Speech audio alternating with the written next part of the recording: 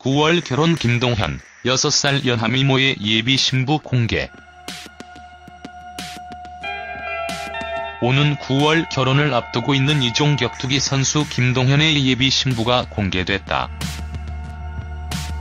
한복 디자이너 박술련은 5일 자신의 SNS에 UFC 한국 최고의 파이터 김동현 선수의 한복 촬영이 있었습니다라며 전통을 알고 한복을 사랑하는 두 사람.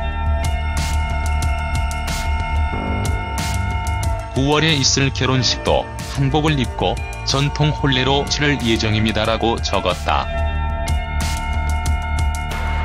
이어 그는 오래오래 사랑을 키워온 두 사람의 앞날에 행복이 가득하기라는 글과 함께 여러 장의 사진을 공개했다. 공개된 사진에는 김동현과 6세 연하의 예비 신부가 한복을 입고 포즈를 취하고 있는 모습이 담겨 있다. 두 사람의 미소가 훈훈함을 자아낸다.